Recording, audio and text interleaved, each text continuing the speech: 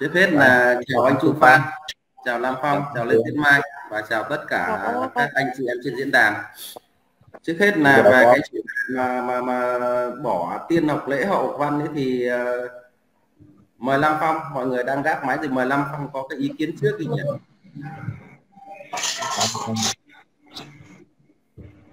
Ok, cái chủ đề này thì lúc chiều mình đã có có like, có tham gia.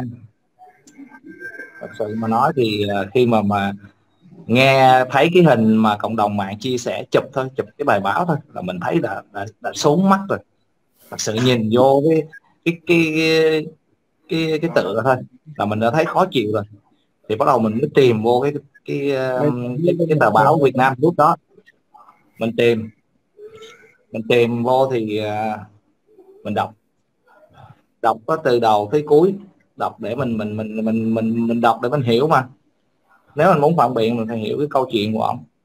Ừ, thì thật sự mà nói thì đọc tới đâu thì mình cái cảm giác như là cái ông giáo sư này đúng là ông có trình độ mà giáo sư là phải có trình độ rồi nhưng mà không hiểu sao ông lại lại có một cái đề xuất mà nó mang theo mình thấy là nó ngớ ngẩn như vậy.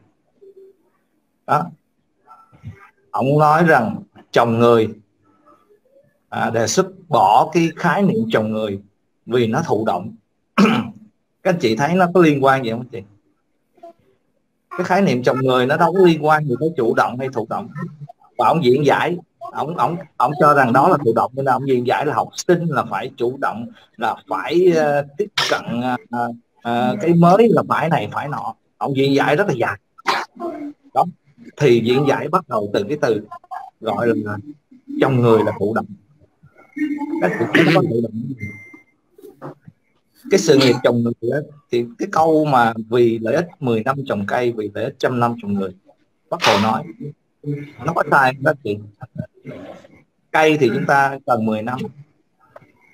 Chúng ta hiểu nghĩa bóng thôi nha chứ không phải nghĩa đen. Cây thì nó sống dài hơn người. Nhưng mà trăm năm dành cho con người có nghĩa là con người là trung tâm là quan trọng. Đó. Cho nên chúng ta phải chăm bẵm phải trồng. Một cái cây chúng ta không trồng chúng ta không thể thu hoạch. Đúng không? chúng ta đem chúng ta quăng ra ra, ra, ra ra ruộng ra vườn tự nó mọc thì chắc chắn chúng ta sẽ không thể thu hoạch được. Nó sâu hại nó hư hết. Nó không có trái. Nhưng mà chúng ta trồng chúng ta chăm sóc chúng ta bảo vệ. Chắc chắn chúng ta sẽ có ngày hái mọc thì ở đây trồng người ở đây trồng người thì các anh chị biết là trồng người đó trồng người thì chúng ta nghĩa là chúng ta chăm sóc à, chúng ta chúng ta đầu tư vào một cái, cái gọi là một cái em học sinh đó. 18 năm phổ thông rồi 4 năm đại học rồi sau đại học. Thì kết quả chúng ta sẽ thu được nó khác những cái em mà chúng ta không không đầu tư. Bây giờ một cái đứa học, một cái đứa mà nó ra đường sớm, nó không học hành gì hết thì chắc chắn kiến thức rồi nhận thức rồi tất tật tật nhiều thứ nó sẽ không bằng những cái đứa được đi học. Đúng không? Cái đó là cái chuyện rõ ràng. Đó, rồi mình nói đến cái từ chồng người. Vậy tại sao, lý do gì mà ông lại nói là chồng người? Bỏ cái khái niệm chồng người vì nó thụ động. Nghe nó rất là vô lý luôn. Đó. nó không liên quan gì hết? Cái từ cái từ gì logic của ông nó có vấn đề? Và cái thứ hai nữa là tiên học lễ học học văn. Bỏ luôn cái khái niệm khái niệm tiên học lễ học học văn. Các anh chị có chấp nhận? Một con người mà nếu mà chúng ta không có đạo đức, chúng ta không không không chú trọng đến vấn đề đạo đức, thì con người đó có liệu có thành người không các anh chị? Cái gì thì học, nhưng mà anh phải có đạo đức cái câu tiên học lễ nghĩa là đầu tiên anh phải có lễ nghĩa, có đạo đức. Cái đó là cái cái nền tảng một của gia đình, của xã hội và của bất kỳ cái đất nước nào chứ không riêng gì Việt Nam đâu. Trong á, nếu mà một có, con đứa cháu nào mà nó nó hỗn xược nó mất dạy liệu có cái gia đình có yên ổn không? Đúng không? Một đứa con mà nó vô đạo đức là chắc chắn gia đình ông sẽ không bao giờ được yên ổn. Chứ đừng có nói một cái xã hội. cái chủ đề này xin ờ, có một câu hỏi về khía cạnh. Ví dụ như là ông giáo sư đó có một người cháu đi ra mẫu giáo mầm non mà ta không chạy chắp tay à khoanh tay chào cô hay là về nhà chào cha mẹ thì khi mà đứa cháu đứa con đó về nó cháu chân với ông thì liệu ông có đổ trách nhiệm cho nhà trường cái đó là học gì? Học lễ đúng không trước đúng rồi là cái đó. Cái đầu tiên, cái sơ, căn bản, cái sơ khai của một một đứa trẻ là nó, khi nó lên đến trường, nó phải biết cái đó. Còn nếu không dạy nó thì về nhà nó xem ông nó như bạn, đúng không? Nó xem ông nó là như một người ngang hàng với nó thôi. Không biết lễ nghĩa biết tôn trọng ông bà cha mẹ. Tại sao lại bỏ cái khái niệm này? Và ông nói là, ông nói như vậy là lý do bỏ là vì tiên học lễ học văn là nó mang cái chất cái tính chất gọi là phục tùng. Đó, phục tùng rồi không thể hiện được cái à, cái tính dân chủ trong giáo dục. Ông suy diễn suy diễn cái câu tiên học lễ học học văn này là nó mang cái tính phục tùng. Không đem không thể hiện tính dân chủ trong giáo dục. Các anh chị đọc cái bài anh chị sẽ thấy. Đó ông suy diễn một cách vô căn cứ và ông đề nghị bỏ mình thấy bây giờ mình nói là đất nước mình trong uh, những năm gần đây cái đạo đức học được chúng ta thấy nó đang đi xuống. Đúng không? Đi xuống. Cho nên bắt buộc cái chúng ta cần là phải chú trọng đến cái đạo đức học được thay vì chúng ta dạy như bây giờ chúng ta có thể tăng cường thêm đó, các cái tiết học giáo dục công dân những cái tiết học mà nó nó nó nó, nó dạy cho con em chúng ta cách làm người cái kỹ năng mềm. Đó thì ông đòi bỏ. Ông muốn sao? Ông muốn là sau học sinh Việt Nam sau này nó giống như học sinh của nước Mỹ ha buồn buồn nó xách súng nó vô trường nó bắn bạn bè nó chơi. Đúng không? Nó lớn lên rồi cũng vậy nó nó xách súng nó ra ra đường nó thấy người nào nó bắn người đó nước Mỹ nó đâu có câu tiên học lễ học văn trong cái trường học. Cái giá trị của đất nước mình nó tốt đẹp vậy thì mình phải giữ. Tại sao lại đề, đề nghị bỏ? Rồi sao? Chúng ta thấy đó, bác hồ đã, đã đã nói rồi. Có tài mà không có đức là vô dụng. Thì ngày xưa thì bác nói là vô dụng nhưng mà bây giờ có tài mà không có đức thì nó là nó là một cái cái gọi là một cái cái cái, cái, cái, cái, cái nguy hại cho đất nước này nhiều lắm. các anh chị thấy những cái người mà những cái người những cái người mà những cái vụ trọng án mà gây tổn thất lớn cho nhà nước hàng nghìn hàng nghìn tỷ toàn là những người có tài người ta làm ra người ta gây ra không đó. Đúng không? Nhưng mà họ họ không có đức những cái người không có tài không thể nào mà mà họ có thể luồn họ có thể làm những cái tạo nên những cái vụ án mà mà nó nghiêm trọng như vậy cho đất nước được. Họ có tài nhưng mà họ có đức. Đó tại sao mình không cái chú trọng giáo dục cái đạo đức của học sinh mà lại đòi bỏ vậy ông giáo sư này ông ông, ông suy nghĩ cái gì? Ông ông muốn cái gì? Đó các bạn các anh chị là không thể chấp nhận được cái gọi là à, ừ, cái quan điểm của ông. Ông là thì mới thể hiện quan điểm cá nhân thôi. Nhưng mà với là một cái vị giáo sư đầu ngành về văn hóa học ông là giáo sư đầu ngành về văn hóa học không thể chấp nhận. Nếu là một cái một cái người gọi là là, là, là nông dân bình thường họ nói lên cái quan điểm đó thì mình còn chấp nhận bởi vì họ nhận thức họ thấp trình độ không họ không cao thì họ nói mình chấp nhận được. Còn đằng này là một giáo sư đồng ngành về văn hóa học. Mà lại nói phát ngôn như vậy thì thật sự là không thể chấp nhận được. Và tôi cho rằng cái phát ngôn đó nó còn có đâu đó nó mang cái tính phản động. Đó là quan điểm cá nhân của tôi của đó. Thì mà à, mời anh Chu Phan có... các anh chị em khác tiếp tục uh, chia sẻ. Em xin em xin ý kiến không ạ rồi rồi. Mời uh, Tuyết Mai. À, dạ. À, cháu xin phép ạ. Bởi vì là khi mà nhắc đến giáo dục ấy thì ờ, em thấy một điều như này này phải chăng ấy cái vị giáo sư ấy đang hướng người Việt Nam mình sống theo cái lối tây tây hóa đó tức là đặt cái giá trị bản thân lên trên tất cả mọi thứ. Họ coi rằng cái giá trị bản thân của họ coi như cái sự tự do cái sự gọi là đáp ứng nhu cầu bản thân của họ lên tất cả mọi thứ xung quanh. Nó quan trọng hơn tất cả mọi thứ nhưng mà ông ấy không hiểu một điều rằng là người Việt Nam chúng ta ấy là một cái đất nước có cái truyền thống từ xưa đến nay. Đó là tiên học lễ hậu học văn, đặt cái sự, cái cái ừ, đặt cái cái lòng yêu nước, yêu dân tộc, rồi đặt những cái giá trị cốt lõi của dân tộc lên trên, đặt những cái giá trị cốt lõi của xã hội lên trên. Người ta coi trọng người thầy, coi trọng bố mẹ, ông bà, tổ tiên của mình. Đấy là cái nét văn hóa từ xưa đến nay. Kính trên nhường dưới, đó là cái nét văn hóa của người Việt đúng không ạ chúng ta không phải như những nước phương Tây khác để mà chúng ta áp dụng cái mà chúng ta coi là uh, tức là hướng tất cả mọi thứ vào học sinh ấy, tức là học sinh họ có quyền thể hiện tất cả mọi thứ những gì họ muốn mà họ không quan tâm những thứ gì xung quanh của họ.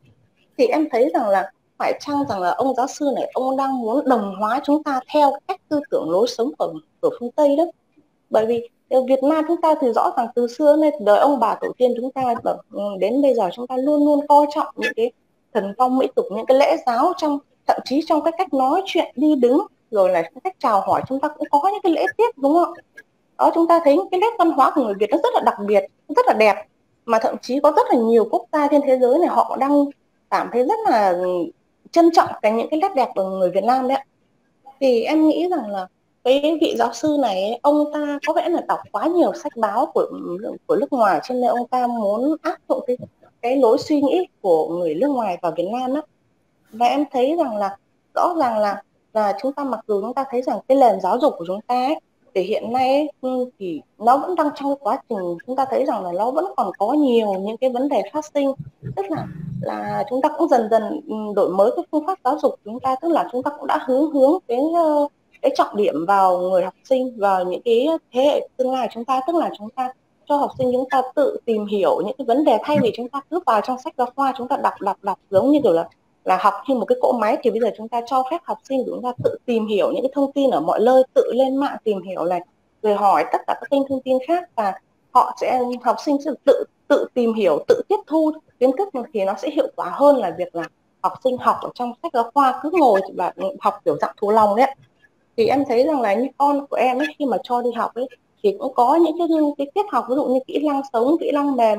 Thì những cái tiết học đó nó là những cái tiết học rất là mới. Từ xưa nay chúng ta mới có xuất hiện vài năm nay thôi ạ. Thì đó là những cái cải cách mà chúng ta thấy rằng nó nó tạo lên cho con cái của chúng ta, tạo lên những cái thế hệ mới của chúng ta, những cái hành trang tốt nhất, đúng không ạ? Thì ờ, em băn khoăn xem là không hiểu cái vị giáo sư này họ đang muốn cái điều gì ở cái thế hệ tương lai của chúng ta, đang muốn hướng cái đất nước chúng ta đi đến đâu với cái suy nghĩ như thế phải chăng là ông ta đang muốn chúng ta bỏ hết cả những cái giá trị cốt lõi của người Việt? Thì đấy là một vài cái suy nghĩ của em ạ. Dạ, cảm ơn Tuyết Mai chia sẻ rất là chính xác và sâu xa vì cái ờ, không thể lấy một cái nền giáo dục hay là một cái cách sống của một người nước này áp đặt cho một người nước kia, nhất là phương Tây và châu Á, thì nó có những cái ờ, cái nhất định là là là là có cái văn hóa riêng, cho nên là rất là không thể nào là ngay cái bản thân ờ, chúng ta đã thấy là cả học sinh bây giờ chúng ờ, hòa nhập có những một số học sinh đã bị hòa tan. Những những cái việc mà tự ra đường đánh nhau rồi này kia các thứ đó là thiếu học đi những cái lễ cái lễ không phải đây là phải phục tùng ai cả mà tức là phải biết tôn sư trọng đạo kính trên nhường dưới thì chứ đâu có bắt buộc là phải cung phục ai bây giờ thời đại nó tự do đến mức nào nữa mà còn phải ý, các vị giáo sư về ngành văn hóa đứng đầu những ngành văn hóa mà nói như thế thì rất là không chấp nhận được. Vâng mời anh Chu Phan ạ. Ừ. chào lại anh em diễn đàn chào anh Lâm Hà chào các bạn bên dưới diễn đàn. Và các em các cháu vừa nói thì Bính thống nhất đi Lan Hoàng với à, đi là Nam Phong thì cháu Tuyết Mai vừa nói. Tức hiện nay là một số các giáo sư tiến sĩ ở các đầu ngành dù bên khoa học bên lịch sử bên uh, giáo dục hiện nay nó có phong trào tức là nói có nó phong trào là qua đáng mà nó có cái hiện tượng tức là phối bỏ lịch sử phối bỏ những cái trận chiến rồi ờ, ờ, rồi rồi ờ, đánh giá lại một số cái cái cái cái, cái, cái nền văn hóa giáo dục rồi lịch sử nước nhà đấy. Thì theo mình nghĩ là đây là đây là hiện tượng của chủ nghĩa dân túy. Tức là đầu tiên thì bài bác lịch sử bài bác cái trận đánh bài bác cái câu ca giao tục ngữ rồi bài bác cái câu nói bất hủ bác hồ. Nó câu nói là là trồng cây 10 năm trăm năm trồng người ấy là cô nói gối đầu giường của dân tộc ra là nó không lâu ờ, bác nói nó không lệch vào đâu được. Vừa rồi em năm phong với cháu tuyết mai vừa nói tức là nó không thể lệch đâu không thể ai trách cái câu nói đó. Mà không thể cái gì thay cái câu nói đó. Một cái câu nói tiền lẽ là hậu văn thì thì, thì, thì cái câu nói là cha ông ta ngàn đời đây đã dùng rồi chứ không phải bây giờ mới dùng. Cho nên là là, là nó có cái cái, cái cái hiện tượng tức là đang đang đang muốn muốn muốn là tức là đưa những cái cái việc làm nổi tiếng. đúng không đúng rồi việc làm là nổi tiếng. Việc câu nói đang muốn đưa những câu nói nổi tiếng. Hoặc còn việc làm nổi danh dân tộc ta đưa ra ngoài lề cuộc sống dần dần. Tức là nó nó nó nó nó, nó, nó có hiện tượng đó. Thì ờ, đây là cái ý, ý nghĩa chứ của mình chứ mình không khẳng định như vậy. Nhưng theo mình nghĩ là như vậy. Cho nên là hiện nay là là là, là, là, là, là chúng ta phải nhận diện ra một số vấn đề này. Bên báo chí cũng vậy nhé. Bên báo chí hiện nay có hiện tượng như vậy. Đó các ngành đều có hết thì có thể uh, um, rồi rồi, rồi là, là, là, là nó đi dần dần dần dần. Nếu chúng ta không tỉnh táo thì rõ ràng là là là là là là, là, là, là, là giáo dục hoặc là hoặc là giáo dục hoặc là văn hóa hoặc là báo chí hoặc một số ngành nghề mang tiết tư tưởng nó bị lệch bị lệch lạc. Tức là các vị cứ cho các vị là một nhà khoa học thì có thể các vị xin thay đổi này. Có thời gian có người nói thay đổi tết nguyên đán. Ăn tết tây đấy. Đó cái dạng như vậy. Theo mình mình nghĩ đối rộng như vậy. Cho nên là, là chúng ta cảnh giác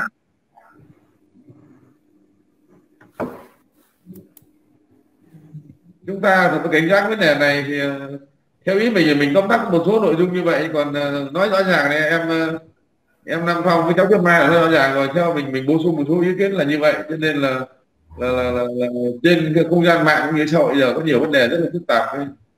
thì uh, mình ý kiến mình là, là như vậy thôi thì huy thì ai có thêm vào trung quy lại là giống như một cái màu cách mạng trắng mà Nguyễn Văn Nghị này nó rất là chính xác này cũng như Liên Xô trước trước khi một xô đổ một cái thể chế hay một cái chế độ nào đó thì người ta phải xô đổ chất lượng trước. Mà muốn xô đổ thì người ta không thể nào đánh trực tiếp vào vì lòng dân của Việt Nam vẫn. Bác hồ là một cái gì đó là thiêng liêng cao quý cho nên họ muốn loại bỏ những cái gì mà là lời nói gần như là triết lý sống của, của lãnh tụ đó rồi dần dần sẽ hạ bệ. Mời Nguyên Hưng. Rồi à, xin chào anh Chu Phan lại chào lại tất cả anh chị em mình nha. Thì à, qua cái à, nội dung mà mà Lan Hòn đưa ra cũng như là cái ý kiến à, của Nam Phong với lại anh Chu Phan với Thiết Mai á. Có nghe có nghe rõ mà không rồi rồi. Có nghe à thì mình cũng uh, xin có mấy cái ý kiến như thế này nè. Về cái thứ nhất á uh, nói là tất cả anh em mình nếu như một người dân bình thường mình uh, đặt vị chúng ta hiện nay là những người dân bình thường chứ không phải là những cán bộ những đảng viên được học tập nghiên cứu các cái nghị quyết cái chủ trương chính sách của đảng nhà nước. Thì chúng ta không thể hiểu hết bao hàm bao quát tất cả mọi nội dung. Nhưng mà liên quan tới cái việc mà học tập và làm theo tấm gương đạo đức và tư tưởng của bác hồ. Thì chắc có lẽ người dân chúng ta cũng nghe cũng biết được chút ít nhưng mà nhận thức sâu sắc cũng như là mình học được cái gì từ bác. À, mà từ bác là những câu nói những hành động những cử chỉ à, những việc làm của bác đối với dân tộc đối với đất nước. Thì trong đó liên quan tới lĩnh vực giáo dục à, mình chỉ tóm gọn một câu nói của bác. Đó là gì? Là cái câu mà vì lợi ích trăm năm uh, 10 năm trồng cây trăm năm trồng người đó. Thì chỉ cần một cái câu nói như thế thì để chúng ta bao hàm hiểu rộng ra hết tất cả. Câu của bác là câu nghĩ nghĩ bóng. À, nhưng mà chúng ta đã hiểu được cái nghĩ đen của nó cái ý nghĩ của nó. Nói như Nam Phong cũng đúng trồng cái cây chỉ cần 10 năm là đã cho gỗ có gỗ tạo bóng mát. Nhưng mà một con người không thể 10 năm được mà có thể rằng là con người đó cái tuổi thọ có thể năm sáu chục tuổi bảy chục tuổi. Nhưng mà cái định hướng cái phương pháp à, cái di sản của người đó để lại cho đất nước nó hàng nó tồn tại nó ảnh hưởng hàng trăm năm. Giống như bây giờ bác hồ là người đã khai sáng ra nước việt nam hiện nay à, là đào tạo bồi dưỡng cho một cái thế hệ cán bộ trước đây cũng như là những người hiện nay đang lãnh đạo đất nước đi theo cái phương pháp của chủ tịch Hồ Chí Minh thì những người đó là những người gánh vác trọng trách cho đất nước mà có thể đưa đất nước có sánh vai với cường quốc năm châu thế giới hay không là hàng chục hàng trăm năm. Chứ nó không phải chỉ năm năm mấy năm theo nhiệm kỳ 5 năm 10 năm. À, cái vấn đề tiếp theo nữa à, trong cái vấn đề giáo dục ừ, nói như là anh chị em mình vừa nói à, chúng ta không thể nào đào tạo một con người có tài nhưng mà không có đức mà cái đức đó là cái chỗ nào? Là cái lễ cái văn. Ờ, cái lễ là như chỗ tiết mai với lợi nam phong đã nói. À, cái văn là cái hiểu biết cái tri thức. Nhưng mà cái tri thức đó phục vụ lại cho lợi ích bản thân và cả cái nhu cầu của cuộc sống. À, làm được cái gì giúp ích cho đất nước chúng ta không phải nói ở đây là chúng ta chỉ nói là học cho người đó, mà học người đó học xong đem cái kiến thức của mình giúp cho đất nước. Và cho sự phát triển chung của cả xã hội thì như thế nào? Thì chúng ta phải phải nắm được cái đó. Còn cái việc một người là xưng là giáo sư, là tiến sĩ, là những người đứng đầu trong lĩnh vực giáo dục, văn hóa, nhưng mà lại có những cái phát ngôn nó lệch chuẩn thì chúng ta phê phán. Chúng ta lên án à, cái vấn đề ở đây là bản thân người đó có tư duy như thế nào? À, khi anh nói à, anh nói vấn đề ra là anh muốn cải cách giáo dục. Cái chuyện mà cải cách giáo dục chúng ta cũng đã nói nhiều cũng đã bàn nhiều cũng đã góp ý rất là nhiều. À, nhưng ở đây cải cách để cho tiến bộ hơn cải cách để cho cái phương pháp giáo dục chúng ta tiệm cận với lại thế giới với là trình độ của thế giới để đưa học sinh chúng ta à, người học tiếp cận được các cái chuyên môn à, ngang tầm với thế giới để xây dựng đất nước. Chứ không phải chúng ta tiếp cận được tiệm cận với lại cái trình độ của thế giới thì chúng ta bỏ mất cái gốc của người Việt Nam. À, mà đặc biệt truyền thống của người Việt Nam chúng ta là gì? Tôn sư trọng đạo. À, kính trên nhường dưới. À, mà trong câu ca dao thuật ngữ chúng ta ngày xưa chúng ta nói gì? Mùng 1 Tết cha mùng 2 Tết mẹ mùng 3 Tết thầy. Cái người thầy cũng là rất là quan trọng nhưng mà bản thân anh là một vị giáo sư một vị tiến sĩ một nhà đầu ngành trong lĩnh vực giáo dục. Nhưng mà anh phát ngôn như thế để anh bỏ đi những cái gì nó trở thành châm ngôn à, nó trở thành phương châm nó trở thành kim chỉ nam thì chúng ta phải đánh giá lại bản thân những người này à, quá trình học tập quá trình nghiên cứu quá trình công hiến cho đất nước. Có những cái gì? Còn nói về lĩnh vực giáo dục thì xin thưa với lại tất cả các anh chị đang theo dõi ở đây. Trong quá trình à, chúng ta phát triển xây dựng và phát triển đất nước thì giáo dục cũng là một quốc sách hàng đầu. Tuy nhiên chúng ta vẫn còn những cái khiếm khuyết những cột mặt những mặt hạn chế trong lĩnh vực giáo dục. Ừ. chứ không phải không? Từ cái việc là dạy thêm học thêm tràn lan. Cái thứ hai nữa là gì?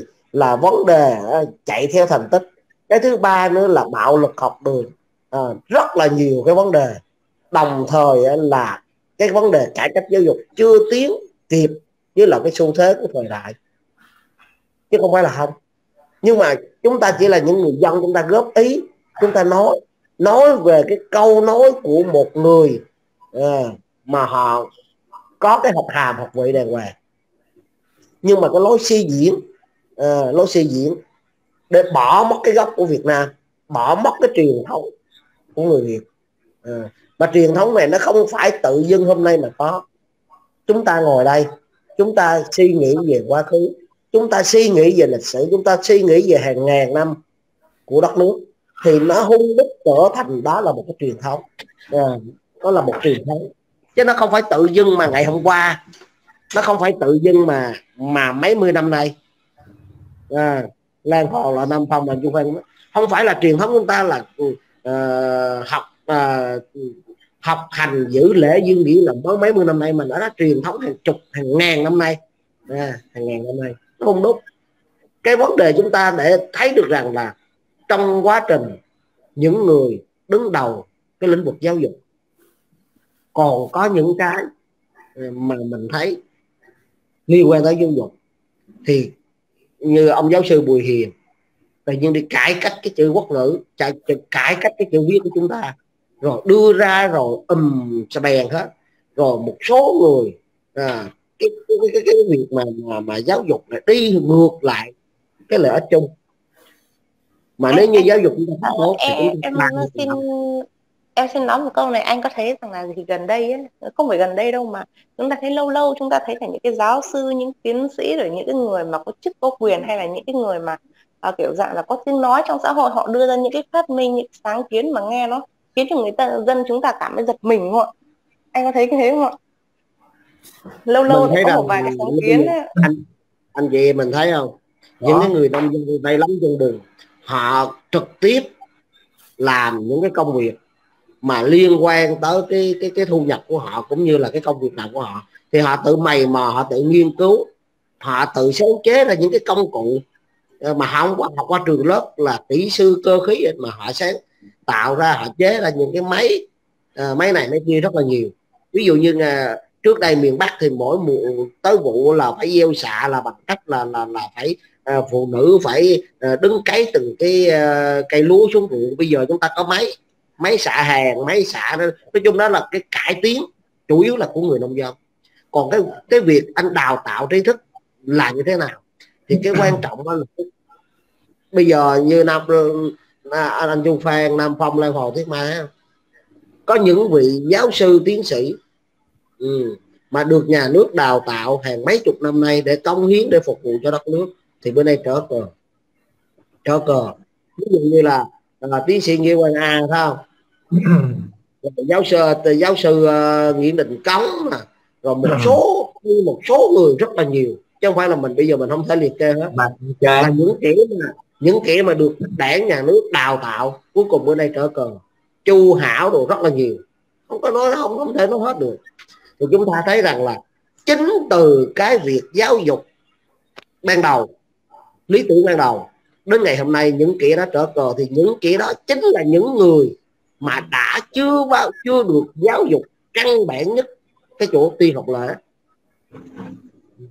thật sự những kẻ trở cờ đó là những kẻ chưa được đào tạo chưa được học đúng mức cái việc câu đầu tiên là tiên học lễ thì chúng ta nói chừng đừng nói có hậu học văn nữa. Thấy rõ ràng không? Cái tiếp theo nữa thì như anh Du Phan vừa rồi có nói một câu thì mình cũng thấy rằng là nó cũng hay. Đó là chúng ta thường nói bữa nay là dùng cái từ là gì? Chủ nghĩa dân tí. À, nhưng mà những kỹ này nó không phải là chỉ chỉ là phát ngôn theo cái chủ nghĩa dân tí không đâu.